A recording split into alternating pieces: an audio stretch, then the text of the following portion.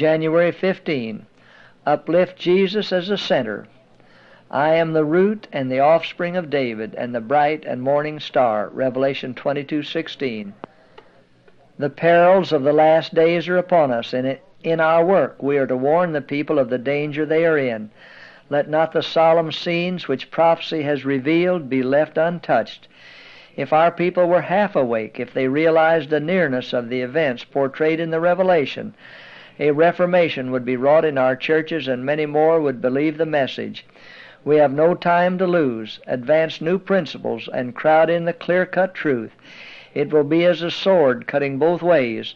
Be not too ready to take a controversial attitude. There will be times when we must stand still and see the salvation of God.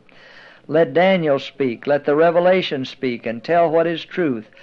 But whatever phase of the subject is presented, uplift Jesus as the center of all hope, the root and the offspring of David, and the bright and morning star.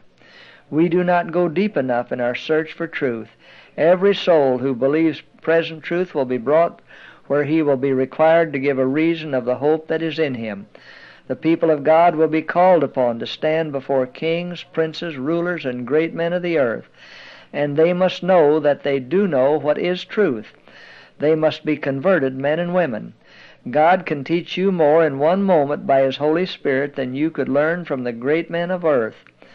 The universe is looking upon the controversy that is going on upon the earth. At an infinite cost, God has provided for every man an opportunity to know that which will make him wise unto salvation. How eagerly do angels look to see who will avail himself of this opportunity. When a message is presented to God's people, they should not rise up in opposition to it. They should go to the Bible, comparing it with the law and the testimony.